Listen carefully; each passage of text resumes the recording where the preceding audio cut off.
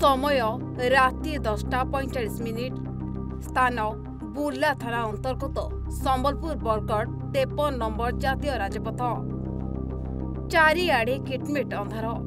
ରାସ୍ତାଘାଟ ପୁରା ସୁନସାନ ଥିବାବେଳେ ରାସ୍ତାରେ କେବଳ ଗାଡ଼ି ମଟରର କେଁ କାଁ ଶୁଭୁଥାଏ ଆଉ ଏହାରି ଭିତରେ ହଠାତ୍ ଶୁଭିଲା ଏକ ଭୟଙ୍କର ଶବ୍ଦ।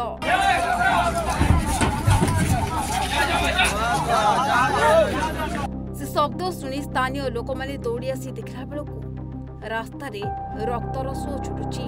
ଆଉ ଗାଡ଼ି ତଳେ ଚାପି ହୋଇ ରହିଛନ୍ତି ଲୋକ ଆଉ ଅନେକ ଗାଈ ଗୋରୁ। ବିକଳ ଚିତ୍କାରରେ ଫାଟି ପଡୁଥାଏ ସେହି ସ୍ଥାନ।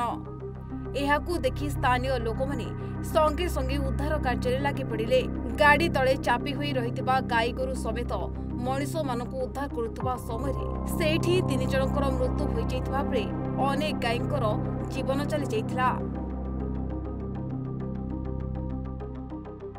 ହଁ ଆଜ୍ଞା। ଗତକାଲି ରାତିରେ ବୁର୍ଲା ଥାନା କଟାପାଲି ଛକରେ ଏକ ଗୋରୁ ବୋଝେଇ ଗାଡ଼ି ଅଟକି ରହିଥିଲା। ଆଉ ଏ ଗୋରୁ ବୋଝେଇ ଗାଡ଼ି ସମ୍ମୁଖରେ ଚାରିଜଣ ବ୍ୟକ୍ତି ରାତ୍ରି ଭୋଜନ ପାଇଁ ରୋଷେଇ କରୁଥିଲେ। ଠିକ୍ ଏହି ସମୟରେ ବରଗଡ଼ରୁ ସମ୍ବଲପୁର ଅଭିମୁଖେ ଯାଉଥିବା ଏକ ଟ୍ରକକୁ ଅନ୍ୟ ଏକ ଟ୍ରକ୍ ପଛପଟୁ ଧକ୍କା ଦେଇ ତୀବ୍ର ଗତିରେ ଚାଲି ଯାଇଥିଲା ଫଳରେ ଭାରସାମ୍ୟ ହରାଇ ସେହି ଟ୍ରକ୍ ଚାଳକ ଜଣକ ଗୋରୁ ବୋଝେଇ ଗାଡ଼ିକୁ ଧକ୍କା ଦେଇଥିଲେ। ଧକ୍କା ଦେବା ଫଳରେ ଗୋରୁ ବୋଝେଇ ଗାଡ଼ି ଓଲଟି ଯିବାରୁ ରୋଷେଇ କରୁଥିବା ବ୍ୟକ୍ତିମାନେ ଗାଡ଼ି ଚକା ତଳେ ଚାପି ହୋଇଯାଇଥିଲେ।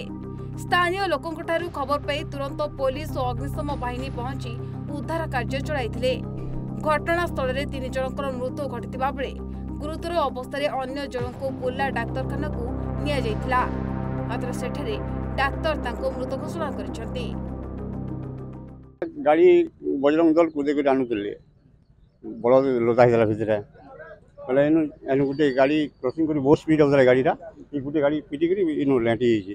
ଗାଡ଼ି ଗାଈମାନଙ୍କୁ ଆମେ ବହୁତ ଲୋକ ତାକୁ ବାହାର କରୁ ପହଞ୍ଚାଲୁ ଆଉ ଏଠି କେତେ ମରି ତିନି ଜଣ ମରି ଯାଇଥିଲେ ପରସ୍ପରରେ ଆଉ ଦୁଇ ଜଣ ପୋଲିସ ନେଇଗଲା ସେଟାକୁ ସେଟାକୁ ଛେକିଦେଲୁ ନା ନେବାର ଲାଗି ଖାଲି ହେଲା ବଳଦ ପହଞ୍ଚ ତାପରେ ନେବ ବୋଲି କହିଲୁ ଆମେ ନା ମାରିଲେ ସେମାନେ ସାଇଡ୍ କରୁଛୁ ଗାଡ଼ି ବୋଲି ନେଇଗଲେ ସମ୍ବଲପୁରରୁ ନବୀନ ଦାସଙ୍କ ରିପୋର୍ଟ ଓଡ଼ିଶା ଭାସ୍କର